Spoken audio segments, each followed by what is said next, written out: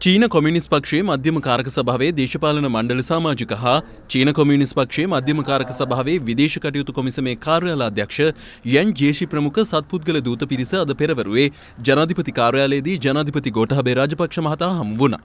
අමරිකාවේ චීන තානාපතිවරයා ලෙසද කටයුතු කළ යන් ජේෂි මහතා උප අගමැතිවරයෙකු හා සමාන බලතල දරනවා. මෙහිදී ඒ මහතා ප්‍රමුඛ දූත පිරිස සඳහන් කළේ ජනාධිපතිවරයා ශ්‍රී ලංකාවේ සංවර්ධන ප්‍රයත්න සාර්ථක කර ගැනීමට දරන උත්සාහයට අඛණ්ඩව උදව් කරන බවයි. රටවල් හතරක් ඇතුළත් සිය ආසියානු චාරිකාවේ ප්‍රථම රට ශ්‍රී ලංකාව බව සඳහන් කළ ඒ මහතා චීන ජනාධිපතිතුමා ශ්‍රී ලංකාව සමග ද්විපාර්ශික සබඳතා වර්ධනයට ඉහළ ප්‍රමුඛත්වයක් ලබා දී ඇති බවද ප්‍රකාශ කළා. චීනය එක්සත් ජාතීන්ගේ මානව හිමිකම් කවුන්සිලය ඇතුළු අන්තර්ජාතික වේදිකාවලදී ශ්‍රී ලංකාවේ ස්වාධීනත්වය ස්වෛරීභාවය හා බහුමිකාකණ්ඩතාවය වෙනුවෙන් නොසලී පෙනී සිටින බවද යන් ජේෂි මහතා මෙහිදී පවසා සිටියා.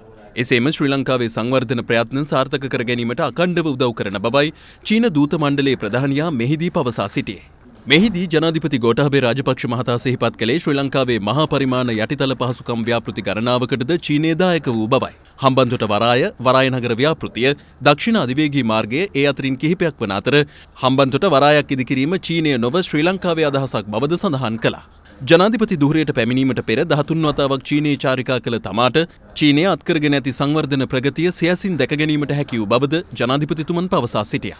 විශේෂයෙන් ග්‍රාමීය ප්‍රදේශවල විශාල සංවර්ධනයක් දුටු බවත් තම ඉලක්කේ ඊට සමාන සංවර්ධනයක් මෙරට ග්‍රාමීය ප්‍රදේශවල ඇතිකර ග්‍රාමීය ජනතාවගේ ජීවන තත්ත්වය වැඩිදියුණු කිරීම බවද ජනාධිපතිතුමන් මෙහිදී සඳහන් කළා. යන් ජේෂි මහතා ප්‍රමුඛ දූත පිරිස අග්‍රාමාත්‍ය මහින්ද රාජපක්ෂ මහතා මෙලෙස මුණ ගැසුනේ ඉන් අනතුරුවයි. මෙහිදී චීන දූත පිරිස ඇමතු අග්‍රාමාත්‍යවරයා සඳහන් කළේ මෙම සංචාරය තුළින් දෙරට අතර පවත්නා ශක්තිමත් සබඳතා යළි තහවුරු කර ගැනීමට හැකිවීම පිළිබඳව තමන් සතුටු වන බවයි. මෙරට ආර්ථිකය ගොඩනැගීම සඳහා කටයුතු කිරීමේදී ආයෝජකින් අතර විශ්වාසය යළි ගොඩනගා ගැනීමට ශ්‍රී ලංකාව හා චීනය අතර පවත්නා දිගුකාලීන මිත්‍රත්වය භාවිතා කිරීමට හැකිවනු ඇතැයි බලාපොරොත්තු වන බවත් අගමැතිවරයා පැවසුවා. මෙම ගෝලීය වසංගතය අවසන් කිරීමේ සටන සහ ශ්‍රී ලංකාවේ ආර්ථික සබඳතා වර්ධනය කිරීම ඇතුළු වසංගතයෙන් මතුවන පොදු අභිහෝගයන්ට විසඳුම් සෙවීම සඳහා සාමූහිකව කටයුතු කිරීමට චීනය සමග සමීපව කටයුතු කිරීමට බලාපොරොත්තු වන බවද අග්‍රාමාත්‍යවරයා පෙන්වා දුන්නා. මෙහිදී අදහස් දැක්වූ හිටපු චීන විදේශමාත්‍ය සහ වත්මන් කොමියනිස් පක්ෂ දේශපාලන කාර්යංශයේ සාමාජික යන් ජේෂි මහතා දෙරට අතර මිත්‍රත්වයේ බැඳීම මේ දක්වා යාවත්කාලිනව පවතින බවත් COVID-19 වසංගත තත්ත්වය පරාජය කිරීම වෙනුවෙන් රටවල් දෙකම එකට අත්වැල් බැඳගෙන කටයුතු කරන බවද සිහිපත් කළා.